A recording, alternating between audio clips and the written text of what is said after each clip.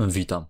W tym filmie pokażemy jak szybko stworzyć rozkład prętu w elemencie o niestandardowym kształcie.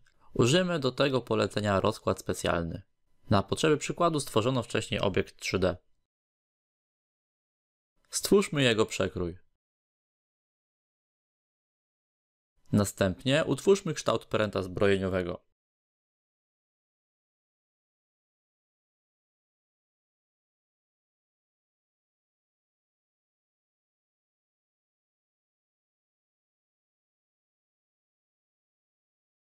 Teraz stwórzmy pierwszy pręt rozkładu i wprowadźmy go do modelu za pomocą rozkładu pojedynczego.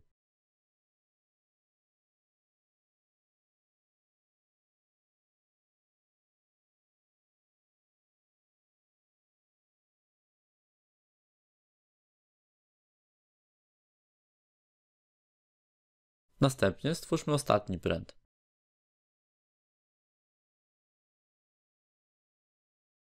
Zastosujemy tutaj polecenie rozciągnij, aby dopasować pręt do modelu.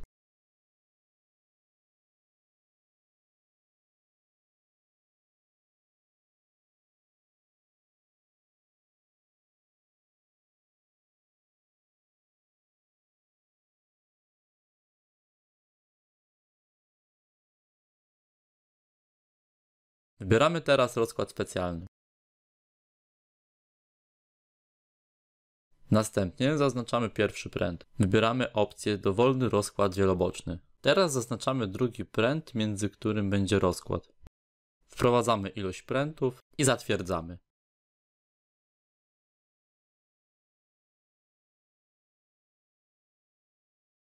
I w tym filmie to już wszystko. Dziękuję za uwagę.